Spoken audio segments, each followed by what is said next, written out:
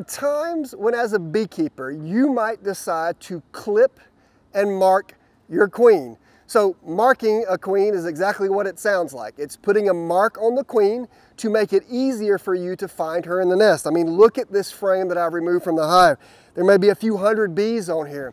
If I wasn't experienced and didn't know what I was looking for when looking for the queen, it might be very difficult to find her.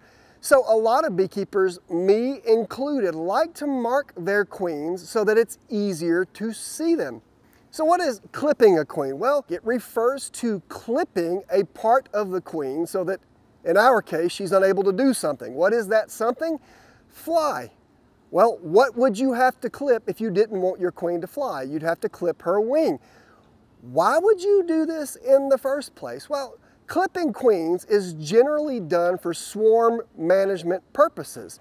Remember, it's the reigning matriarch in the nest, the queen who's laying eggs in the nest who's the one who's most likely to go with the swarm. In fact, if all they have is the old queen and they're making new queen cells, the workers, somewhere around 50% will leave the nest with the old queen.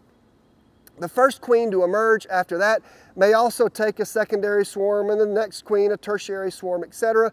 But generally speaking, that first, that prime swarm is led by the queen who is the laying queen in the nest. So if that queen can't fly, she can't leave with the swarm. If the swarm is moving without a queen, they won't move without the queen. They'll come back to the nest. So clipping is a way of managing swarms. It's a better thought of as swarm insurance. It's a way to stop that swarm from leaving in the first place. So when you clip a queen, you've got to remember that queens have two wings on both sides of their bodies. They have a large front wing called the forewing, and a smaller hind wing. That's on both sides of the body. So clipping a queen entails taking out that larger forewing and removing half of that forewing with a pair of scissors. So the queen's wing won't grow back. She'll be unable to fly from that point forward. So here I have a honeybee colony. I've already found the queen. So come a little closer and let me show you specifically how to mark the queen and to clip that queen. So the tools for clipping and marking queens are actually quite basic. For clipping purposes, you need a pair of scissors. These are often sold in the fingernail or toenail sections, these little small scissors that are quite sharp. For marking queens, you actually need some sort of paint. These happen to be paint markers. You'll see there's five different colors. Believe it or not, there is a marking system where you use one color a year which is a good way to help you remember the age of your queen. And they will repeat. So you'll go through the five colors year by year by year. Then you'll start over with those five colors. Therefore, five colors give you a good 10-year indication of the queen that you're working with because it's very unlikely that the queen that you mark is going to last longer than five years. So as long as you have five colors, these happen to be the standard five colors, white, yellow, blue, red, and green, a lot of folks, including me, are colorblind. I struggle to see red and green and sometimes even yellow in the midst of the nest, so I typically just use white. So you can either follow the yearly marking pattern or you can just pick a color that you prefer. So I'm going to use white in this case. So I have the white marker, I have the pair of scissors. And now I want to talk briefly about the dexterity associated with queens. Marking and clipping a queen requires you to handle a queen, which means it's better to do it without gloves on because when you put gloves on, you lose that dexterity. If you are interested in getting practice, you can find drones in the nest and practice picking them up by their wings, positioning them in your hand the way that you want them, and clipping and marking them. If you do this strategy, just make sure that you're not going to mark them a color that you end up marking the queen because you don't want the same colored dots running around in that nest.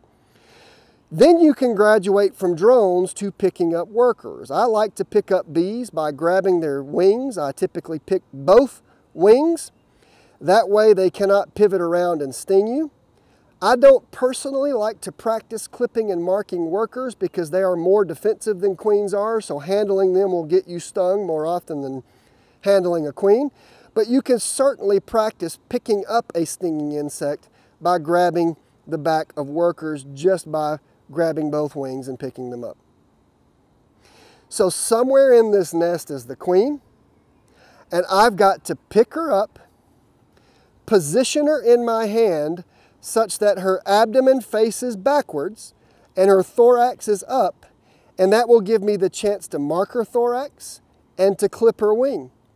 But a lot of beekeepers are uncomfortable doing that, and those beekeepers will often use any number of devices that are available on the market. This happens to be a plunger device where you can capture the queen by removing the plunger, allowing the queen to walk up in it, replacing that plunger, and using that plunger slowly to push the queen, if you do it correctly, right side up in the plunger and you can push it just slowly enough to immobilize her and once you've immobilized her you can paint her it's harder to clip her this way, but you can certainly mark her this way.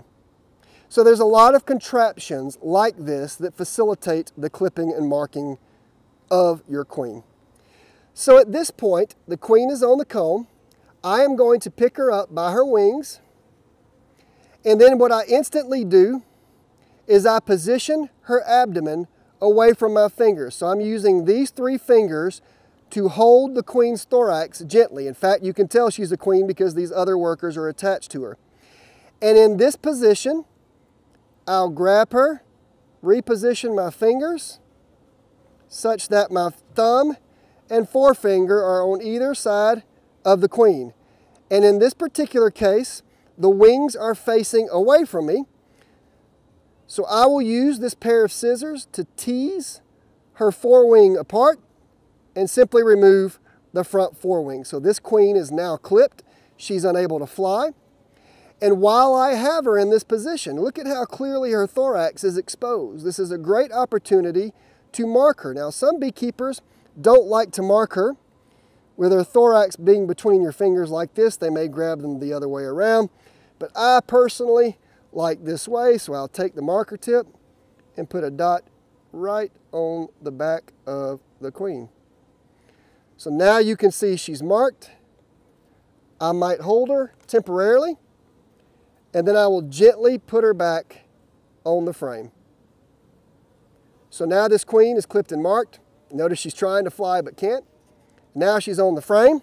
She's running around as a newly clipped and newly marked queen. That paint will dry, usually within a couple of minutes, so the workers won't be able to get it off of her back easily. And now I've got a queen with a white dot on her back that I can see anytime I come into the nest. It will facilitate finding this queen in the future. It's always a good strategy if you want to be able to manage your queens closely like we do here. Again, we typically clip queens for swarm control purposes and mark queens for finding them purposes. Happy beekeeping.